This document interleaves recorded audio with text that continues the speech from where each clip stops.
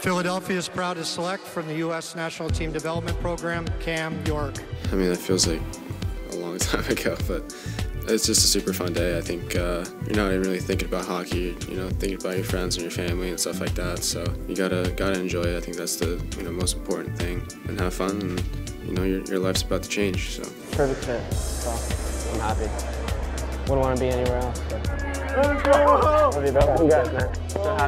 No one knows exactly where they're going to get drafted to, but you know you definitely have a, a, good idea of teams that want you. And I talked to the Flyers the, the morning of the draft day, and you know I knew that they were really interested. So you know had a had a good idea, and you know I remember my, my agent leaning over and telling me that the the Flyers were about to pick me. So.